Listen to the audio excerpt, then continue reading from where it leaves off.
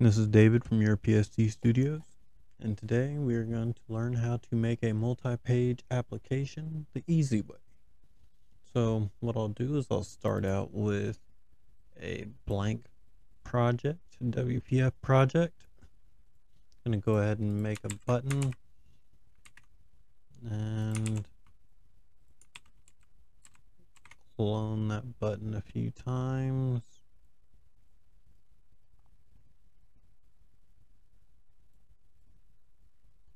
All right, perfect. so we have our buttons. We're going to go ahead and name name them grid 1, grid 2.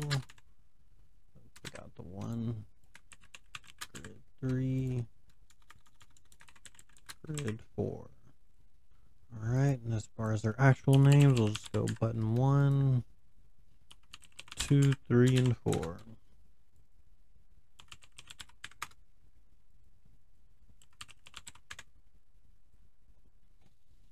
Alright, so now that we have that out, we will go ahead and start setting up our actual page. And the way I, the reason I say the easy way is because this way really does just make it real simple if you're not trying to do a real complicated UI. So how I will do it is I made a rectangle which will represent our screen area for our different grids. So this is going to be grid one. Go ahead and right click on it, make it into a grid, and call that grid one. We will turn that off. And what can we use next? Let's do a rich text box. Gotta bring that out of there. I don't know why it went into it. But let's do a rich text box. Bring this under here. And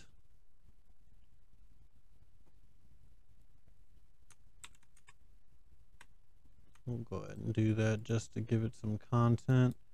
Right click on it, group into grid grid 2 turn that off. We will throw a bunch of text boxes. Uh, keeps doing it. text boxes.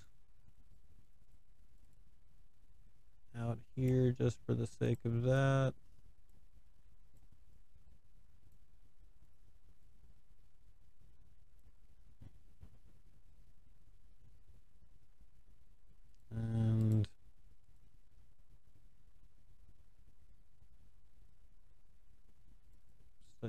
date picker. All right, select all those, right click, group into grid. That'll be grid three. And then we'll hide that as well. And for grid four, we will go ahead and just use an image. Let's go ahead and do that whole section. I'm going to go over here and select my image I want to use. Yeah, it already exists, so there we go. Click, um, let me actually make that a little smaller just to show.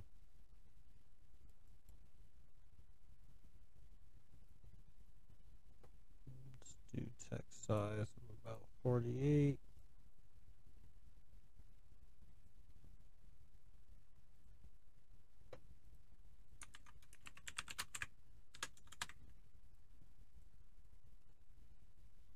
Alright.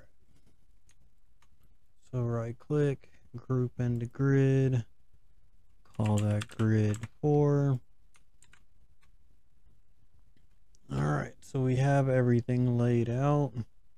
We are going to go over to our buttons and go to our events.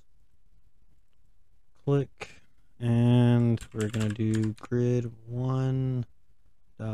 visibility equals visibility dot visible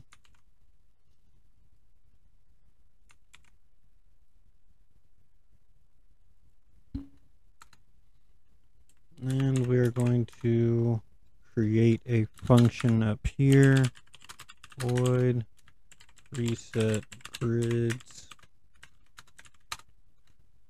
And we will go ahead and paste this about uh, let's go back change that to hidden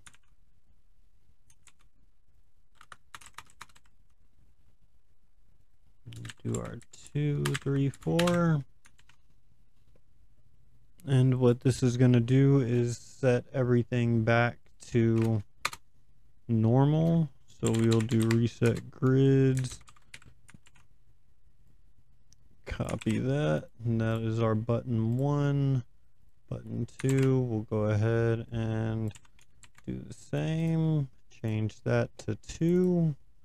Button three, we'll go ahead and do button three. And we can always go and just make one function that sees it all as the, the event handler, but I'm going to go this way just because it literally is the easiest and you can see everything that you made a change on there with. And so now that we have that, we'll go ahead and run the program and see if it works properly. Oh, sorry, I forgot one part of that. And that will be in the initial. We're going to go ahead and set everything to show as hidden so it doesn't show any of it. So now that it is started, you can see we have our blank grid. You click on one, we have that one. We have our rich text box grid. We have our date pickers. I gotta move that out the way. And we have that. But it is a very simple way to make multi-page application without actually having to do all the multi-page part of it.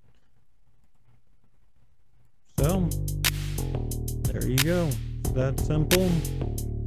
If you liked the video, had fun, click the like button, hit subscribe, and check back later for more awesome content.